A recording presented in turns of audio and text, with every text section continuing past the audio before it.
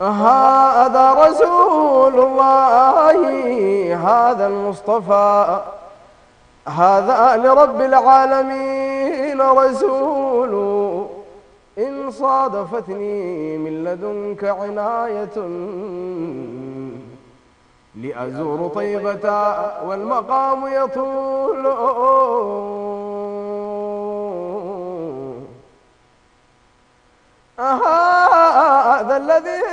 شرف الضريح بجسمه منهاجه للسالكين سبيل.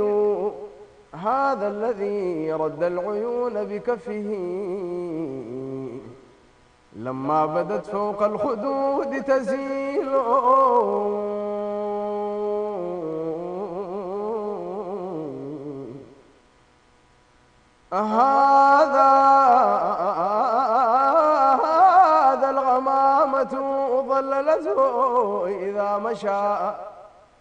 كانت تقيه ذا الحبيب يقيل هذا غضيب النخل لما هزه. فإذا الغضيب مهند مسلول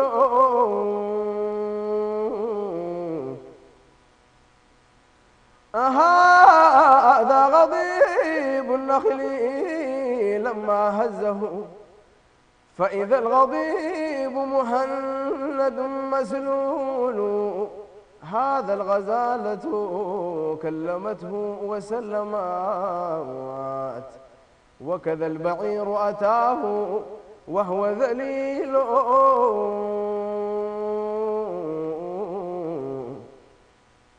يا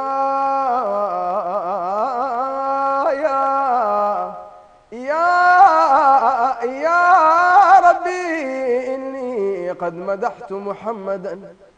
فيه ثوابا بالمديح جزيل. صلى عليك الله يا علم الهدى. ما لاح برق في السماء دليل.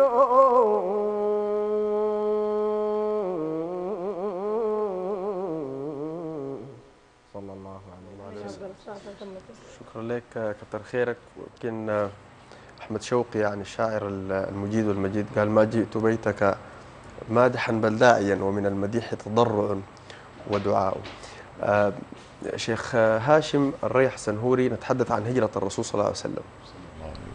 وكثير جدا من الباحثين في التراث الإسلامي وفي الأدب الإسلامي وفي آه، حياة الرسول صلى الله عليه وسلم ينظرون إلى الهجرة من من مناظير مختلفة أو من زوايا مختلفة يعني. آه، على أهمها أنه هي جاءت نصرة للرسول صلى الله عليه وسلم في ذلك الوقت وأيضا لتؤسس للدولة الإسلامية لتؤسس للإسلام بشريعته بحقوقه بواجباته بأخلاقه في دولة آه، يعني يتعايش فيها الجميع تحت ظل ال- الشريعة. لكن دعنا نبدأ بما الذي آه، حدث قبل أو قبيل هجرة المصطفى صلى الله عليه وسلم. اللهم صل على سيدنا محمد وعلى آله الطيبين واتصلت العيون بالنظر وتزخرفت الأرضون بالمطر وحج حاج واعتمر ولبى وحلق ونحر وطاف بالبيت العتيق وقبل الحجر. صلى الله عليه وسلم. في تلك الأوقات اشتد الأمر على نبينا صلى الله عليه وسلم. اشتد الأمر شديد. لأنه سيدنا النبي صلى الله عليه وسلم إن شاء الله كما سنعرف حصر في شعب بني هاشم وداخل الشعب أو بعد الخروج من هذا الحصار مات عمه أبو طالب. وماتت التقية النقية الشريفة أم المؤمنين خديجة بنت خويلد رضي الله تعالى عنها وأرضاها حتى أن الباحثين سموا هذا العام بعام الحزن لأنه كان عام حزين على سيدنا النبي صلى الله عليه وسلم. واشتد أذى ال- الكفار على المسلمين حتى أن الكفار كانوا يخرجون بأهل التوحيد كبلال بن أبي رباح وغيره يخرج بهم لصحراء مكة في اليوم الصائف فيوضع بلالا على الرمل الساخن ثم يوضع عليه الحجارة ولكنه لم يرتد عن دينه وهو ينادي أحد أحد صمد صمد اشتد الأمر عليه فدي أحداث كثيرة. قبل الهجرة كان سيدنا النبي صلى الله عليه وسلم بيعاني منها داخل مكة. أحداث رهيبة جدا جدا كما رأيت إن شاء الله. وبعد سيدنا النبي صلى الله عليه وسلم أراد أن يفتح آفاق أخرى بالخروج من مكة كما سنعرف إن شاء الله. يعني الرسول صلى الله عليه وسلم تعرض لأذى يعني جسيم من من قريش وأهل قريش خاصة زي ما ذكرت بعد وفاة آه، أبي طالب. لكن خلينا نتكلم برضو عن الحروب الاقتصادية كمان اللي شنتها آه، قريش على الرسول صلى الله عليه وسلم. طبعا بلا شك اجتمعت قريش وقرروا مقاطعة مش النبي بس صلى الله عليه وسلم بل مقاطعة بني هاشم كلهم. فقاموا بني هاشم اللي هم ال- سيدنا النبي صلى الله عليه وسلم. بيع شراء مزاوجة مصاهرة آه، أخذ عطاء يعني حصار اقتصادي. فحبسوا في شعب بني هاشم. المنطقة اللي فيها بني هاشم حبسوا فيها. في, في هذا المكان يعني تعب النبي صلى الله عليه وسلم والصحابة تعب شديد. أبو عبيدة بن الجراح بيحكي لنا فيها قال خرجت لبعض حاجتي. سيدنا أبو عبيدة خرج لبعض حاجته فقال فسمعت قعقعة تحت قدمي. فإذا هو جلد. سمع له صوت بتاع الجلد تحت كرعينه قال فأخذته فغسلته فأكلته. لأنه الصحابة أكلوا الجلود. لا وصلوا مرحلة من وصلوا الجوع مرحلة يعني بعد الحصار. جوع شديد. ووضع هذا الجلد على النار ثم أكله. نعم. وأكلوا أوراق الشجر. وكانت الشريفة التغية النغية العفيفة الكريمة ستنا خديجة رضي الله تعالى عنها بتشتري ال- ال- ال- ال- السلع التموينية ب- بالسوق السوداء. ولذلك خرجت من هذا الحصار وهي لا تملك غير ربها جل جلاله وتقدست أسماؤه. فكانت أيام الحصار أيام شديدة على سيدنا النبي صلى الله عليه وسلم. اجتمعت كل القبائل على مقاطعته خصوصا قريش. ووضعوا صحيفة بتاعت المقاطعة داخل الكعبة المشرفة. أنهم لا يبايعوا بني هاشم ولا يشتروا منهم ولا يزوجوهم ولا يتزوجوا منهم. وبدوها ببسمك اللهم. زمان ما بيكتبوا بسم الله الرحمن الرحيم لأنهم قالوا هم اللي قالوا لسيدنا النبي نحن لا نعرف من هو الرحمن. ولذلك كانوا بيكتبوا باسمك اللهم. فكتبوا باسمك اللهم وبعده آه، غرروا هذه المعاهدة الشريرة فأرسل الله تعالى الأرض فأكلت هذه الشروط القاسية على رسولنا على صلى الله عليه وسلم. أكلتها كلها. وما تركت إلا أسماء الله. نعم. وسيدنا النبي صلى الله عليه وسلم عندما أخبر بواسطة جبريل أخبرهم قال لهم أمشوا صحيفتكم.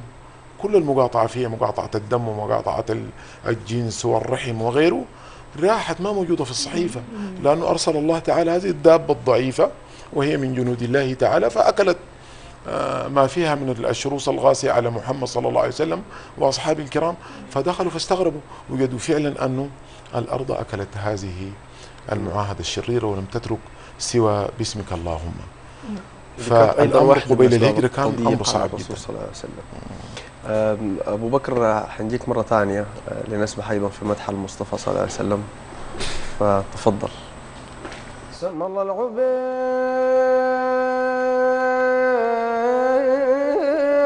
جر القصيد وتغنى.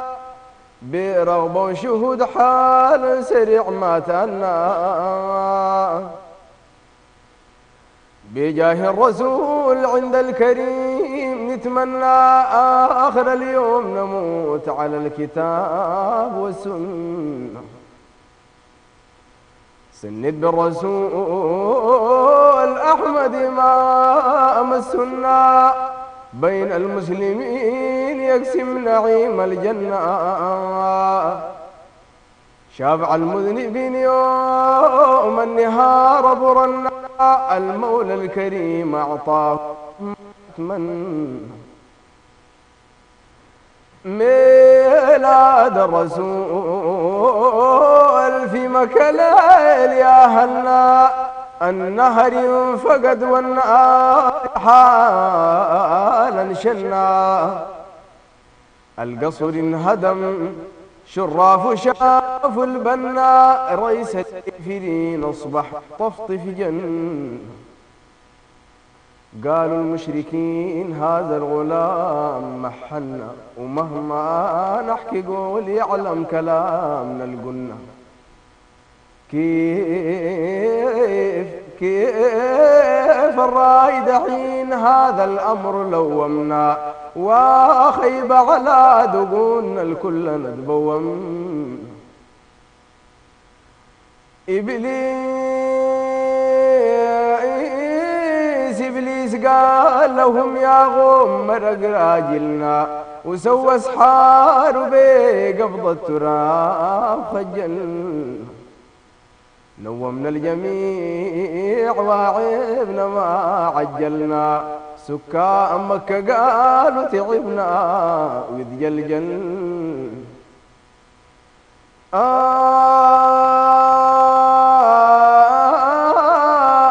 يتلم الصباح قالوا الأمر لومنا. ومن كافة عباد تصنامنا إذ عطل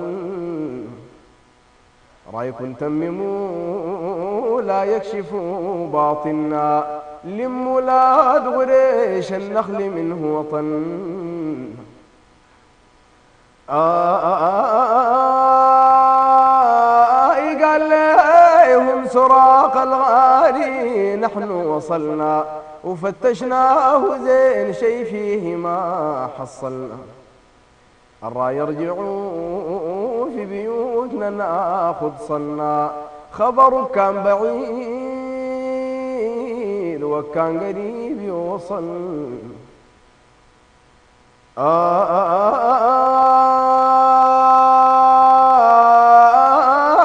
آيات الرسول الحب زين ما كنا داخل في الفؤاد من الطفال ساكن.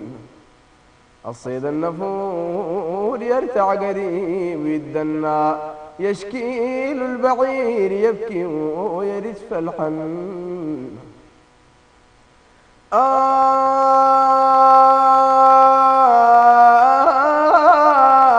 آي قال الراوي في دار الخزاع نزلنا وبيح البشويه العشفاء استأذن مساها الرسول مجهودنا كله بذلنا. أعياءنا الحليب حتى الأواني وزن. آه يتوجه مدينة فيها جات منا. وبخبر القبائل كلهن علما لاقوه السعاد قالوا له بك آمنا يا طيب الأصل بك طبنا وطاب زمن. الصلاة والسلام عد النبات للحنا الصلاة والسلام ترضي الرسول مخزنا بآل الجميع وأصحاب الأحيوا السنة يلقى أبو شريعة جوار بطن الجنة صلى الله عليه وسلم. عليه الصلاة آه نرجع نتواصل للحديث عن هجرة الرسول صلى الله عليه وسلم.